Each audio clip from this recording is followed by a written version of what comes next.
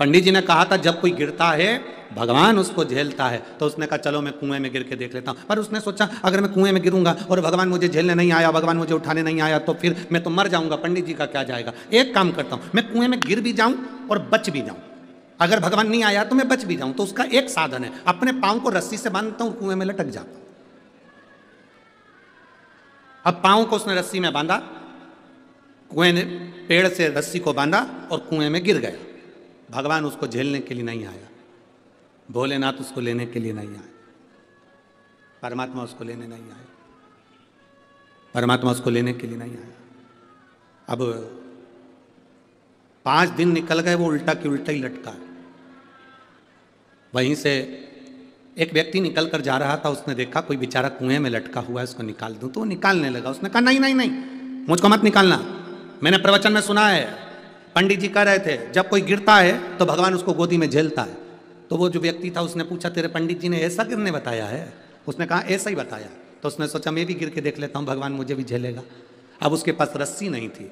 बड़ के पेड़ की बट वृक्ष की डालियाँ तोड़कर लाया उसको एक दूसरे से बांधा और पेड़ की डालियों से उसने पाँव बांधा और कुएँ में कूद गया। लटका। अब रस्सी तो मज़बूत थी। रस्सी तो मज़बूत थी। डीले कम करो। रस्सी मज़बूत थी। तो वो पहले वाला जो रस्सी से बंधा हुआ था, वो तो उसमें नहीं गिरा। पर जिसके पेड़ की डालियाँ बंधी हुई थी, पेड़ की डालियों से बंधा हुआ था, डालियाँ टूटने लगी और वो व्यक्ति नीचे गिरने लगा। जैसे ही गिरने लगा, उस समय पर भोलेनाथ ने आकर उसको गोदी में झेल लिया। परमात्मा ने आकर अब परमात्मा ने उसको गोदी में आकर झेला। जो पहले का लटक रहा था उसने कहा, भोलेनाथ, मैं पाँच दिन पहले का लटक रहा हूँ। पहले मुझे झेलो। शंकर जी बोले, तुझे तो दुनिया में कोई नहीं झेल सकता। तूने गुरु के वचन पर विश्वास नहीं करा और इस व्यक्ति ने तेरे वचन पर विश्वास कर कर कूद गया। जो विश्वास किसी के वचन पर करता है, उसको परमात्मा भी झेल लेता है, वरना परमात्मा भी नहीं झेलता। भरोसा जिसका पक्का है।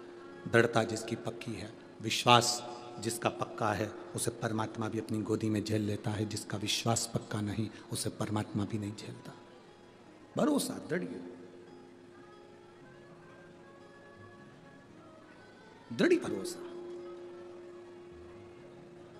हम परमात्मा पर इस इस बहन ने, गुजरात से आई हुई इस बहन ने लिख दिया कि मैं नहीं जानती। मैंने बेलपत्र खाया है, बाबा।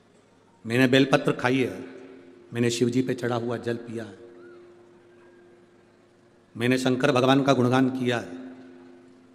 तो ये मेरा भरोसा करता है कि मुझे वापिस कैंसर नहीं आ सकता, उसने लिखा।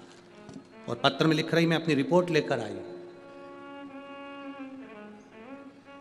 एक दृढ़ता भीतर होना चाहिए। एक दृढ़, एक पत्र और है, देखिए। मेरा नाम सुनीता बिश्नोई, पति का नाम सीताराम जी, बिश्नोई, लुधियाना, पंजाब से हैं।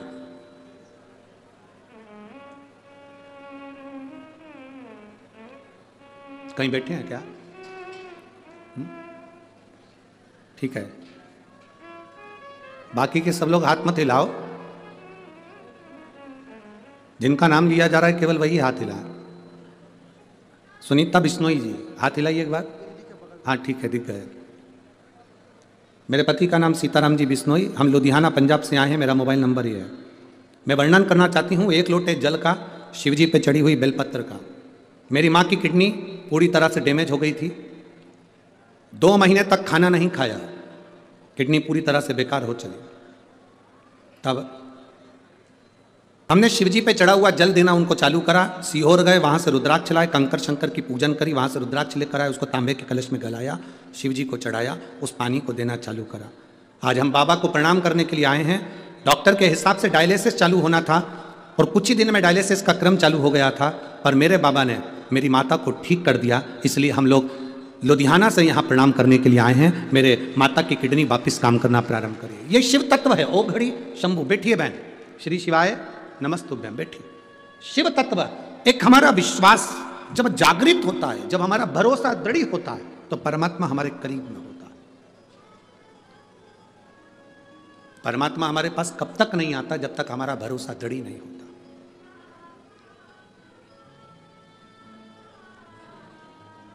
माता सती और माता पार्वती। माता सती और माता पार्वती, ये दोनों की कथा अगर आप ध्यान से सुनेंगे, स्मरण में लेंगे तो माता सती और माता पार्वती की कथा अगर ध्यान से स्मरण में लेंगे तो आपके स्मरण में आएगा कि जितना विश्वास माता पार्वती जी ने शिवजी पर करा, उतना विश्वास माता सती नहीं कर पाई। भरोसा।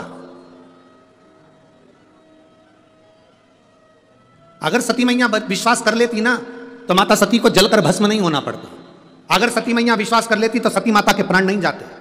सती मैया ने शिव जी के वचन पर विश्वास नहीं करा और पार्वती जी ने जितना जितना भोलेनाथ जी बोले हैं, उतना उतना उनका भरोसा पक्का हुआ। जितना बोले। आप आए हो शिव महापुराण की कथा में, लाखों की संख्या में पहुँचे हो। पूरे स्टेडियम में कहीं जगह नहीं है। जितने अंदर बैठे उससे ज़्यादा स्टेडियम के बाहर हैं लोग। दुकानों के अंदर बैठे हैं, होटले पर बैठे हैं, गाड़ियों में बैठे हुए जितने स्टेडियम के अंदर है, इससे ज़्यादा रोडों पर ढेर खड़े हुए हैं लोग क्यों आए हो आप लोग? एक एक विश्वास के लिए कि हम भगवान देव अधिदेव महादेव की कथा को श्रवण करने के लिए जा रहे हैं और यह हमारा भरोसा कहता है यह हमारा विश्वास कहता है यह हमारी दृढ़ता कहती है कि मैं भगवान शिव की कथा तक गई हूँ ना तो एक ना एक